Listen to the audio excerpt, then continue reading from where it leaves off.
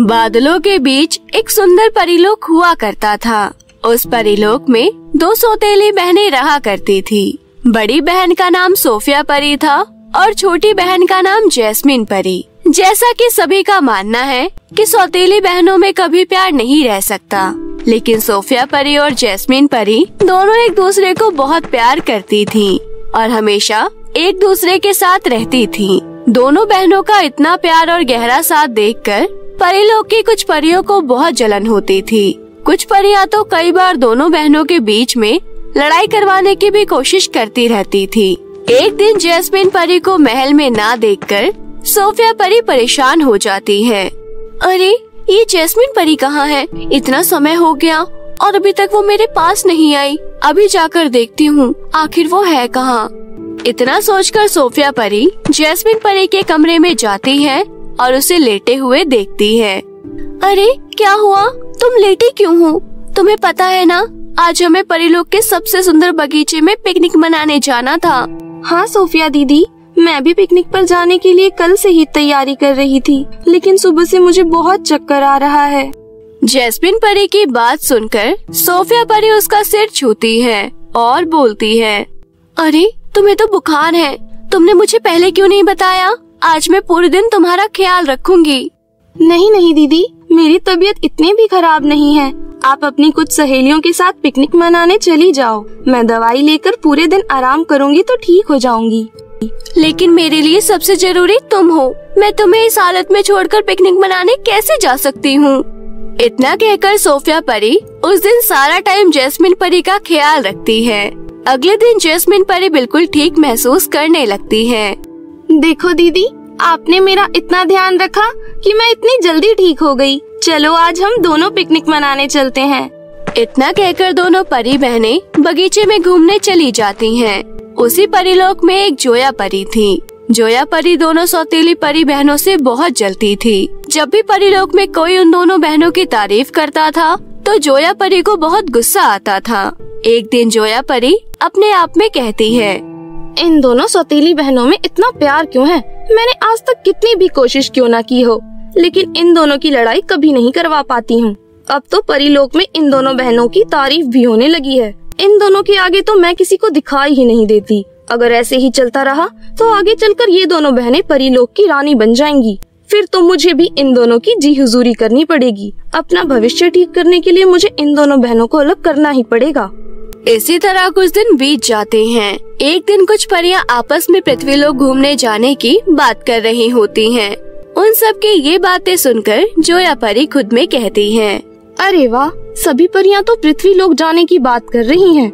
ये सही मौका है उन दोनों बहनों को सबक सिखाने के लिए। अब मैं उन दोनों परी बहनों में से किसी एक परी का काम तमाम कर दूँगी।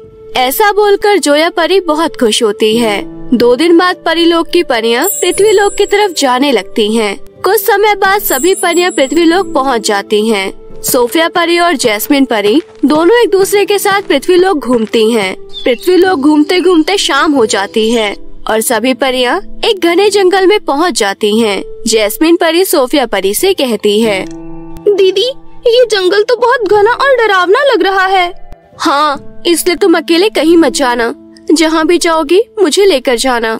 इस तरह दोनों बहनें सभी परियों के साथ जंगल में घूम रही होती हैं। देखते ही देखते अंधेरा छा जाता है और तभी अचानक जैस्मिन परी अपनी बहन और बाकी परियों से अलग हो जाती है। अरे मैं तो खो गई हूँ अब मैं परी लोग वापस कैसे जाऊँगी? जैस्मिन परी ऐसा बोलकर बहुत रोती है लेकिन तभी एक पेड़ के पीछे खड़ी जोया परी ये सब देख रही होती है। ये सब देखकर जोया परी बहुत खुश हो रही होती है। अरे, अभी तो इसके साथ कोई भी नहीं है। सामने ही एक बहुत गहरा कुआँ है। ये सही मौका है। अभी के अभी मैं जैस्मीन परी को कुएँ में धक्का दे देती हूँ। इतना बोलकर जोया परी जैस्मिन परी को कुएँ में धक्का दे देती है। अंधेरा होने की वजह से जैस्मिन परी को नज़र नहीं आता कि आखिर उसे धक्का किसने दिया है। जैस्मिन परी कुएँ में गिर जाती है। और वहीं दूसरी तरफ़ जोया परी बाकी परियों के पास चली जाती है सोफिया परी को जैस्मिन परी कहीं नज़र नहीं आ रही होती तो वो बहुत परेशान हो जाती हैं। अरे, ये जैस्मिन परी कहाँ चली गई? मैंने उसे कितना समझाया था कि मेरा हाथ छोड़कर कहीं मत जाना अब इतने घने जंगल में मैं उसे कैसे ढूंढ पाऊँगी इतना बोलते हुए सोफिया परी जैस्मिन परी को जंगल में ढूँढने लगती है लेकिन कुछ समय इधर उधर तक ढूँढने पर भी जैस्मिन परी उसे कहीं नहीं मिलती। उसके बाद सोफिया परी ज़ोर ज़ोर से आवाज़ लगाने लगती है। जैस्मिन परी, कहाँ हो तुम? मेरी बहन, कहाँ हो तुम? इस तरह आवाज़ लगाते हुए सोफिया परी जैस्मिन परी को ढूँढने लगती है। ढूंढते ढूंढते सोफिया परी उस कुएँ के पास पहुँच जाती है, जिसमें जैस्मिन परी होती है। सोफिया परी कुएँ के अंदर जैस्मिन परी को गिरा हुआ देख लेती है। अरे, ये क्या? जैस्मिन यहाँ कैसे आई? वो तो शुक्र है कि कुएँ में पानी नहीं था, वरना आज मेरी बहन साथ नहीं होती। इतना बोलकर जैसे तैसे करके सोफिया परी जैस्मिन परी को कुएँ से बाहर निकालती है। सोफिया परी जैस्मिन परी को होश में लाने के लिए अपनी जादुई शक्तियों का इस्तेमाल करने वाली ही होती है, तभी वहाँ पर जोया परी आ जाती है और बोलती है, सोफिया परी, तुम्हें पता नहीं है क्या? परी लोग के कानून के हिसाब से अगर तुमने अपनी शक्तियों का इस्तेमाल पृथ्वी लोक पर किया तो फिर तुम्हारी सारी शक्तियाँ खत्म हो जाएँगी। कोई बात नहीं, जोया परी। मेरी बहन से ज़्यादा ज़रूरी मेरे लिए कुछ भी नहीं है। इतना बोलकर सोफिया परी अपनी जादुई छड़ी घुमाती है और अपनी जादुई शक्तियों का इस्तेमाल करके जैस्मिन परी को होश में ले आती है। उसके बाद सोफिया परी जोया परी को कहती है जोया परी, मैं अपने बहन के लिए कुछ भी कर सकती हूँ रिश्ते सगे या सौतेले हो, लेकिन प्यार और लगाव से बने रिश्ते को कोई भी नहीं तोड़ सकता है सोफिया परी की बातें सुनकर जोया परी को अपनी गलती का एहसास हो जाता है और वो दोनों बहनों से अपनी गलती की माफ़ी मांगती है उसके बाद सभी परियाँ वापस परीलोक लौट जाती हैं। उस दिन के बाद से फिर से सोफिया परी और जैस्मिन परी एक दूसरे के साथ हँसी खुशी रहने लगती हैं। जादुई गुलाब। मिष्टी के माता पिता उसके बचपन में ही गुजर गए थे, इसलिए वो अपने भाई के पास ही पली बढ़ी थी। लेकिन मिष्टी की भाभी संता उसे बिल्कुल पसंद नहीं करती थी। संता मिष्टी के भाई रमेश से मिष्टी की शिकायत करती है, और ऐसे ही आए दिन वो रमेश के कान किसी न किसी बात से भरती ही रहती थी। संता की बात सुनकर एक दिन रमेश मिष्टी को घर से निकाल देता है। मिष्टी अपने भाई के सामने बहुत रोई, बहुत गिड़गिड़ाई, लेकिन किसी ने भी मिष्टी की बात नहीं सुनी। वो बहुत दुखी होकर घर से जंगल में चलती गई। जंगल में चलते चलते मिष्टी को एक बूढ़ी अम्मा मिलती है। ए, लड़की, जरा रुक। वहाँ कहाँ जा रही है? वहाँ तो घना जंगल है। अब इस जंगल के अलावा मेरा कोई ठिकाना नहीं है, अम्मा। ये क्या कह रही है? तेरे माँ बाप कहाँ है? वो तो मेरे बचपन में ही चल बसे थे। बचपन से मैं अपने भैया के घर पर रह रही थी, लेकिन अब तो उन्होंने भी मुझे अपने घर से निकाल दिया। अरे अरे, मेरी बच्ची तो मेरे पास आ। मेरे साथ ही मेरे घर चल। बूढ़ी अम्मा मिष्टी को अपने साथ अपने घर ले जाती है और वहाँ से पानी पीने को देती है। ले बेटा, थोड़ा पानी पी और साथ में ये मिठाई खा। तेरा मुँह तो बिल्कुल सूख गया है। मिष्टी मिठाई खाती है और पानी पीती है। उसके बाद अम्मा मिष्टी से कहती है, सुन बेटा, ना तेरा कोई है, ना मेरा कोई है। तू आज से मेरे पास ही रहना, ठीक है? अच्छा ठीक है अम्मा, मैं आपके पास ही रहूँगी, लेकिन मेरी एक छोटी सी शर्त है। क्या शर्त है? आपकी बड़ी मेहरबानी। मैं ऐसे ही आपके पास नहीं रहूँगी। बदले में, मैं तुम्हारे घर का सारा काम करूँगी। साथ ही बाहर जाकर तुम्हारी मदद भी करूँगी। अम्मा हँसते हुए कहती है, बिल्कुल बिल्कुल, ऐसा ही होगा। अगली सुबह मिस्ट्री बूढ़ी अम्मा से कहती है, ओ बूढ़ी माँ, सारा काम तो खत्म हो गया। अब आप ही बता दो क्या काम करूँ मैं? ओहो, इस लड़की की बात तो सुनो। काम खत्म हो गया तो मैं क्या करूँ? अब तुझे और काम कहाँ से ला कर दूँ?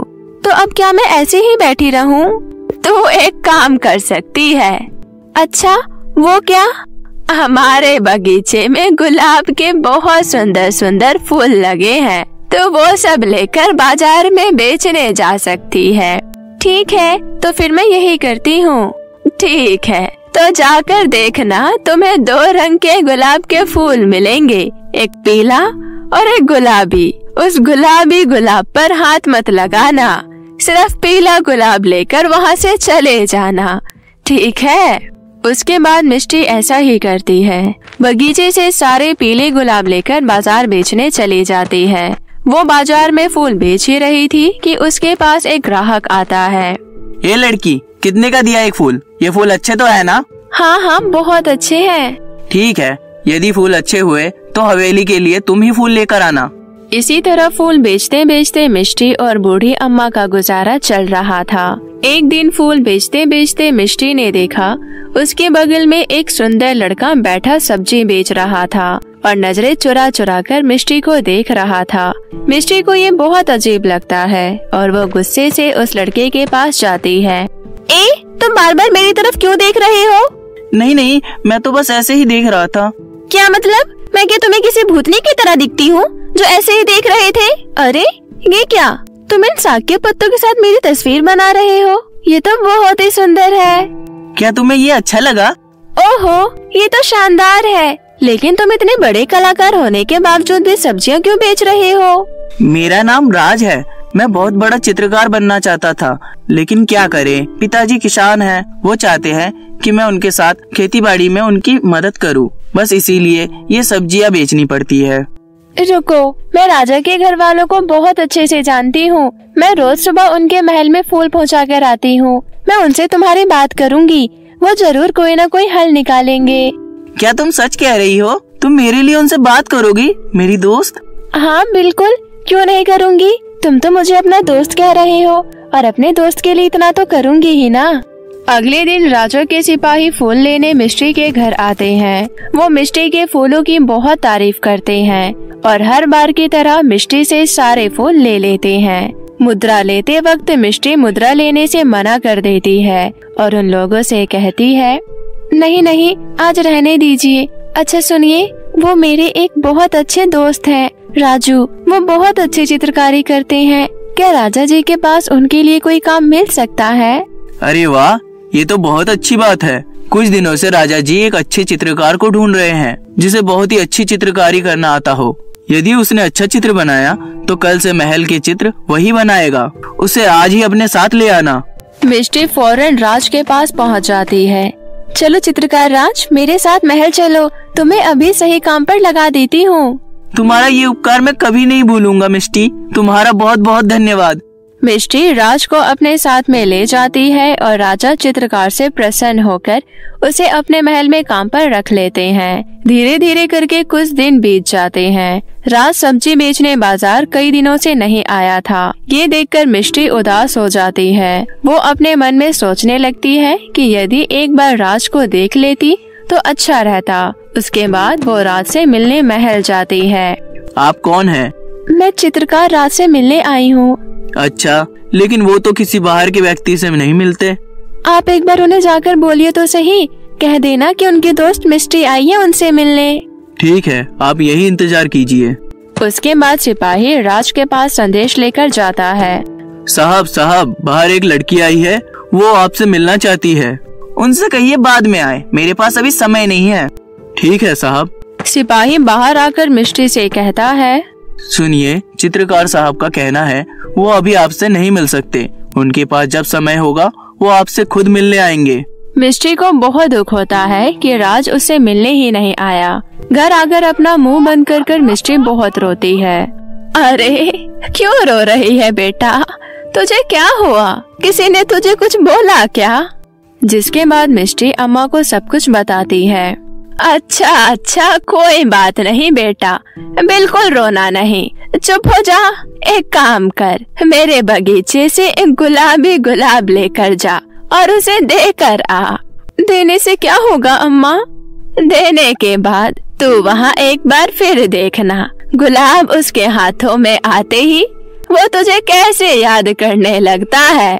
अच्छा चित्रकार होने के कारण राज के महल में बहुत इज़्ज़त थी और अब वो राजकुमारी की तस्वीरें बनाया करता था जिससे वो बहुत अहंकारी हो गया था। एक दिन मिष्टी गुलाबी फूल लेकर महल राज से मिलने जाती है। सिपाही भाई गुलाब ले जाकर आप कलाकार राज को दे सकते हैं? और क्या कहूँ उनसे? कहना मिष्टी ने उनके लिए ये गुलाब भेजा है। कलाकार साहब एक लड़की आपके लिए ये गुलाब छोड़ कर गई है। उसे वहाँ मेज पर रख दो।